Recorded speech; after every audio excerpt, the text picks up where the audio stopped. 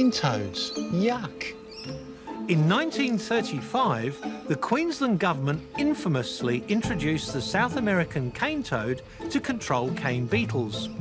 The unscientific release failed, and the rest is history. The toads spread around Australia, poisoning and killing anything that consumes them, eating small reptiles, insects and other amphibians, and displacing and outcompeting native species for food and resources. They've gone down in the history books as one of the worst invasive species in the world. And Australia has been largely powerless to stop their rapid march across the continent. They've radiated outwards and are now regularly found in Kakadu and the Kimberley. Toads can get to two and a half kilos. They're now a common sight across Brisbane and they regularly appear in my garden. Someone who knows this blight better than most is Nikki Thomsett, the invasive species project officer for Queensland-based non-profit environmental charity Watergum. So amongst the invasive species in Australia, how do you rank the cane toad? The cane toad is definitely the worst. So they have an estimated population of about 2 billion cane toads and an ever-expanding range across Australia. They can breed twice a year and produce up to 35,000 eggs each time. So how harmful are they to the environment? They're toxic, they'll eat pretty much anything that they'll fit their mouth around, so they can cause declines in native populations of wildlife, they can poison your pets, and they can also impact agriculture. A new trap and lure system has been developed and Nikki and her team are calling on home gardeners to get on board and push back these interlopers. The trap hinges on a charming quirk of cane toad tadpoles in Australia, where they'll actually seek out other cane toad eggs and cannibalise them. Because of this behaviour, researchers at the University of Queensland were able to create a lure that releases a chemical compound into the water that smells like cane toad eggs.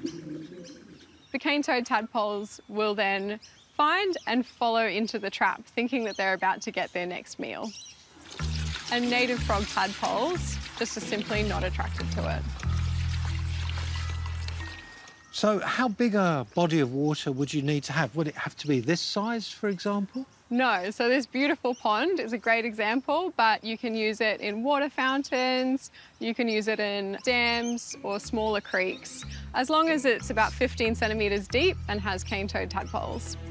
UQ awarded the licence for the technology to the non-profit Nikki works for, who called upon their extensive network of community volunteer toadbusters.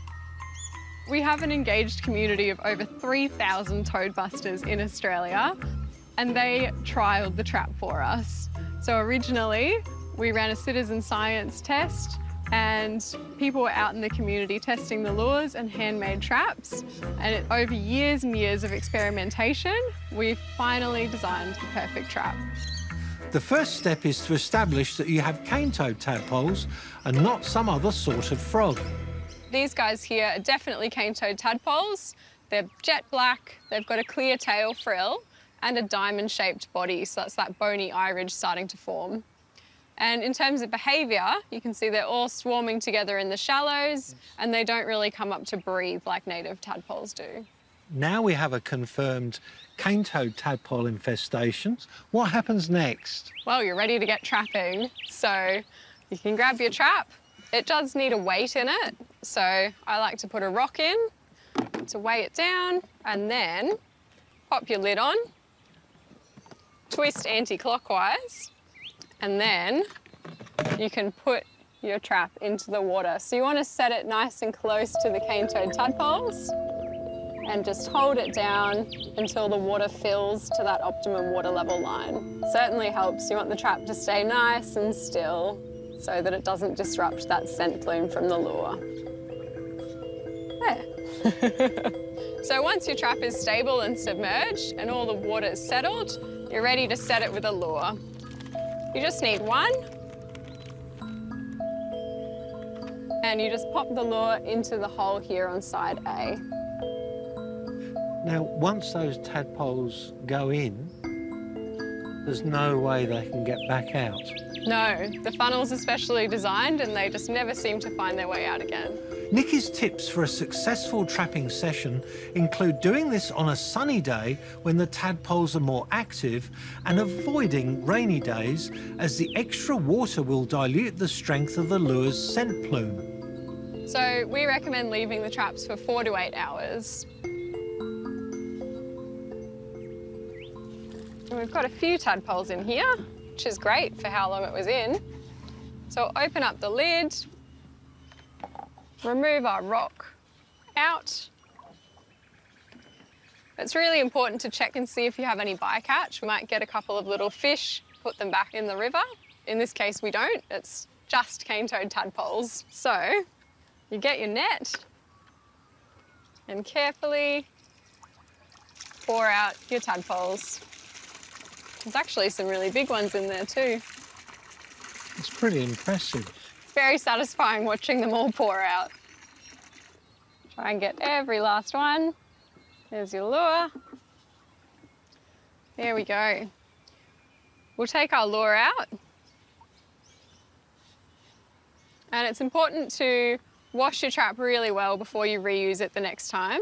The cane toad tadpole swarms don't like the smell of each other, so if you don't wash your trap, the tadpoles might not go in it the next time. And then, with our lovely catch of cane toad tadpoles here, we can put it into a container with some water and they're ready to be euthanized. You know, it's not their fault they're here, so you want to make sure to do it humanely. And the best method at the minute is stepped hypothermia. So that's popping them in a container with some water and putting them in the fridge for eight hours for tadpoles, and then moving them into the freezer for eight hours. This new trap offers a glimmer of hope for gardeners to take back their backyards from being breeding farms for this most notorious of pests. For more information, visit the Gardening Australia website. You'd have to persist throughout a couple of breeding seasons, but eventually you will start to notice a decrease in your cane toad numbers. Well, I can't wait to see how successful this program is as it's rolled out across the country. We're excited too, Jerry. We can't wait to see the public take up this new technology and have a real impact on cane toad numbers in Australia.